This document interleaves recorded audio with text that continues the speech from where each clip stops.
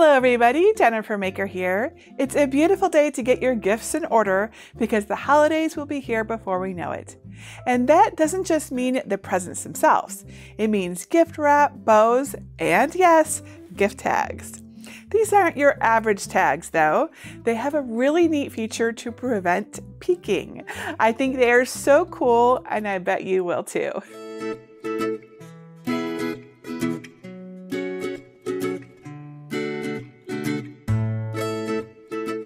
Everybody likes a little mystery, right? Wrapping paper and bags hide the gift inside, but I think it's extra fun to keep the to and from a secret too. These cute tags are designed so you can't tell who they're for or from until you pull the strip. How fun is that?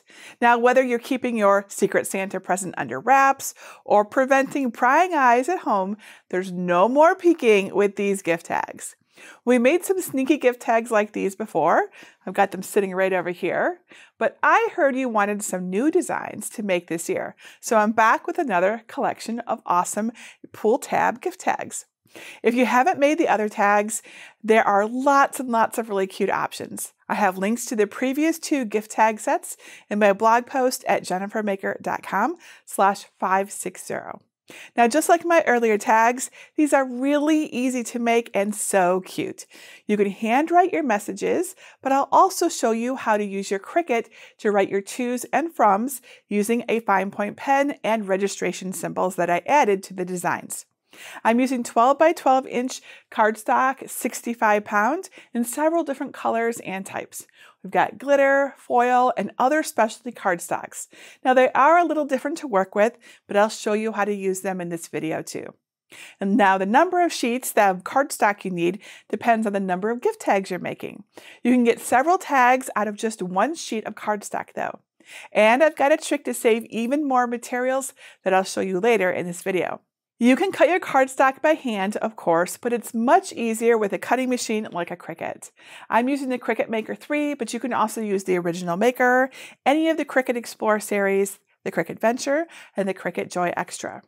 Now you'll need a green standard grip machine mat, as well as the usual tools like a brayer and a scraper. And a weeding tool helps pop out little pieces too. And you might also like to have a paper trimmer to cut your cardstock, some craft glue to close up your gift tag. I'm using Bearly Art Precision Craft Glue, which is my favorite, and then something to hang them on your gifts, like some twine. And that's pretty much it. I've got the whole list of tools and supplies, plus links on where to find them in my blog post at jennifermaker.com slash 560. And because everyone learns differently, you can also find written instructions there too. It has helpful tips and photos of the steps to get you going in the right direction. Now, I bet you want me to tear this tab open and show you how it works. I will, I promise, later on. But let's get started with how to make these really fun tags. Step 1 Get my free gift tag designs. First, download my designs at jennifermaker.com slash 560. You can either download them right from that link by saving the project or download from my entire free design collection. To find it, look for libraries in the red bar at the top, then click either get a password if you don't yet have one, or click enter the library. Search the page for design number 560 and click the link to download the designs. Unzip the folder, and inside you'll find a PDF file for cutting by hand, as well as a DXF and SVG file for use with the cutting machine. I'll show you how to cut and write your gift tags using a Cricut Maker 3 cutting machine, but you can, of course, use really any Cricut from the original Maker to the Cricut Joy Xtra or another cutting machine that uses cut files. My collection has seven designs, so let's look at what we can do with each kind. I've also added some tips on the printable PDF too. You can handwrite your messages within the L shaped brackets after you cut them, or you can have your Cricut do it for you. The emoji face gift tag has a fun zipper opening and comes with an extra zipper tab piece and eyes to glue to the front. Your names will go between the symbols on the right side here. The cute layered rainbow tag has a simple white cloud for the message area. You can use fancy papers for the arches if you like. Again, your names will go between the symbols on the right side. The snowflake is another fun multi layer design. Your names will go between the symbols on the right side here. On the Santa hat design, your names will go between the symbols on the flap that sticks out. Then you'll fold the whole Santa hat over to close it. It has a separate piece to attach to the front when it's closed. The heart and star tags work best when you cut them with glitter or foil cardstock, so the different color backing pops out from the cutouts. You can handwrite your text between the symbols on the solid half of the tag. The rectangular tag on the left is a nice simple design where your text goes on the right side. And the last rectangle tag is similar, except instead of writing a message inside, you insert a gift card. Step 2 Upload and personalize your pull tab gift tags. In Cricut Design Space on a blank canvas, click Upload and then Upload Image. Click Browse and find the SVG file. Click Upload and then select the new design under Recent Uploads and click Add to Canvas. If you're not sure how to upload, go to jennifermaker.com slash SVGS to learn how to unzip and upload SVG files. Here's how the design looks on my canvas. Click the minus sign to zoom out and see everything. And with the entire collection selected, click the ungroup icon. Now select the designs that you don't want to make and delete them. Let's write on the emoji with our Cricut. So click on the text icon. Choose the font drop down arrow and find the writing font that you'll want to use. I'm going to click on System and use a writing font that I designed called JM Tall. But you can use any writing style typeface you'd like, of course. You can download JM Tall free from my resource library by searching for design number 542 and then click the X to close the font menu. With the text layer selected, click on the Operation drop down menu at the top and choose Pen. Then click the square next to the Operation menu to pick your pen type and color. I'll leave mine set at fine point 0.4 millimeters and black. Now double click on the text layer and add your personalization. I'll type to Alexa, love mom. Since the space where the text goes is pretty small, I think it looks best if it's all on one line. Click anywhere on a blank area of the canvas to exit the editing mode. Click and drag the text layer over the gift tag that you want to make, and zoom in to see better if you need to. Then select the text layer and click and drag the corner to resize the message. Now move the text so it's fully within the L marks on the gift tag. If the tag has multiple layers like this, select it in the Layers panel and click the Ungroup icon. Now hold your Shift key and select the gift tag base and the text layer and click Attach. The eyes and zipper pull may disappear behind the yellow tag, but don't worry. With the attached layer still selected, click Arrange and Send to Back. There, that looks right. If you're making multiple tags for the same lucky recipient, you can save time by selecting the text layer and clicking Duplicate. Keep in mind that the tabs are different sizes on certain gift tags, so you may need to resize the text to fit within the L shape boundaries. Be sure to ungroup the design if needed and then attach each text box to its base tag layer to be sure that it writes on the tag that you want. Now the green tag is a little different. It looks backward, but this way you can add Cricut writing to the inside on the right when you cut it.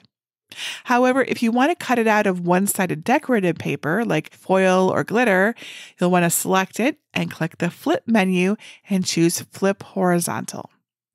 Now you can use decorative cardstock and simply write your message by hand on the paper's plain back once it's cut. I'll show you how later. I've got more gifts to wrap than just these three, so I'll select all of them and click duplicate so I have a total of six tags, two of each kind. Step 3. Prepare and cut your pull tab gift tag designs. When your tags are all prepared, make sure the correct machine is selected and click Make. On the Prepare screen, check to make sure that all of your text is attached to the gift tags. This is very important. My six gift tags are set to cut on six separate mats, but we can combine the ones using the same type of cardstock, even if they're different colors. so I want to cut the emoji faces, their details, and the smallest rainbow pieces from regular 65 pound cardstock. So to do this, we're going to drag a bounding box around the zipper pulls and both sets of eyes. In the left corner, three dots will appear. Click them and select Move Object. A pop up will appear on your screen prompting you to choose a mat for your objects. Select the yellow mat. Now the black pieces are on the yellow mat. That's weird. They're yellow now, but that's okay. Don't worry. I'm going to explain. Move the zipper pulls and both sets of eyes to the bottom right corner, as far away from the other pieces as possible. Leave space between the color groups to avoid any mistakes. That was easy. I'll show you how to prepare your mat correctly once we finish combining the other mats. Now let's take a look at the orange mat and the red mat.